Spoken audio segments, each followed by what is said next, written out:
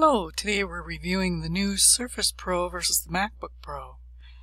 Both the Mac and Surface Pro have gorgeous HD panels with the Surface Pro slightly edging out the MacBook Pro. The MacBook Pro uses a new technology for their keyboard called the Butterfly which some users love and some hate. The keys can get stuck which some people find easy to unstick while others have had to have Apple replace the machine. With the Surface Pro, you'll have to buy the keyboard from Microsoft at about $160 US, or you can use a Bluetooth keyboard if you want the full laptop experience. The entry-level MacBook Pro has two USB-C ports which also act as charging ports, plus a 3.5 millimeter headphone jack. If you go for the MacBook Pro with the touch bar for an additional $300 or buy the 15 incher, you'll get two additional USB-C ports. The touch bar also gives users a variety of uses like formatting documents, using iPay, adding emojis to mail, and QuickType for predictive spelling.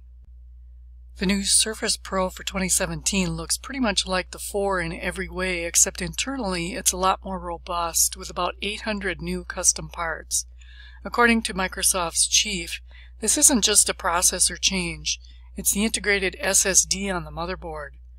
It brings 13 and a half hours of battery life, which is 50% more than the 4's. It's lighter, more powerful, and it has no fan. The new Surface Pen is also improved, but will cost an additional 100 bucks.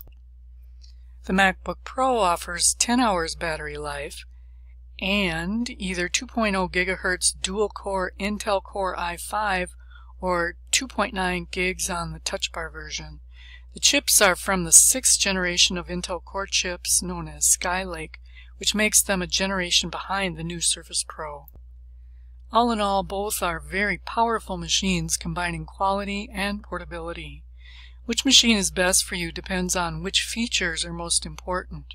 The touch capabilities, keyboards, and operating system. Do you prefer Windows 10 or OS X? And of course, your wallet. The Surface Pro will be available June 15th, starting at $799, and you can pre-order now and the MacBook Pro is available immediately, click on either links below and you'll go to an order page. Thanks so much for watching.